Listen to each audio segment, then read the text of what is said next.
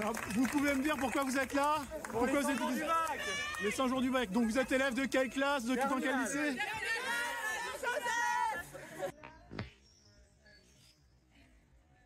Bonjour Christophe Gognier, vous êtes le directeur du collège et du lycée Sainte-Anne. Est-ce que vous pouvez nous dire ce qui se passe un petit peu aujourd'hui et à quelle occasion Alors là, c'est un petit peu la fête puisque dans 100 jours, euh, les élèves de terminale, terminale générale, terminale pro vont passer le bac général. Et traditionnellement, tous les ans, petite matinée déguisement, petite matinée où ils passent au collège puisque ce sont des anciens collégiens, ils passent dans toutes les salles de classe pour faire coucou aux collégiens. Ils traversent la ville de Sablé et puis ils passent dans le lycée. Alors le lycée est beaucoup plus petit, petit tour. Et puis après, ils font des petits sketchs, des petites euh, actions le matin. Et puis l'après-midi, eh ben, ils reprennent les cours.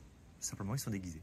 ah, Donc, donc, ça va redevenir un petit peu sérieux cet après-midi avant d'être beaucoup plus sérieux d'ici 100 jours, c'est ça hein? Exactement. Ce sont des élèves très sérieux. Alors, ça fait quand même trois ans qu'on fait 100% au bac, donc moi je m'inquiète pas du tout de leur réussite, mais c'est important de décompresser un petit peu entre deux périodes comme ça.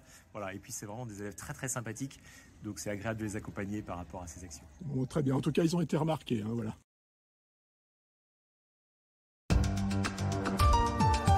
active.fr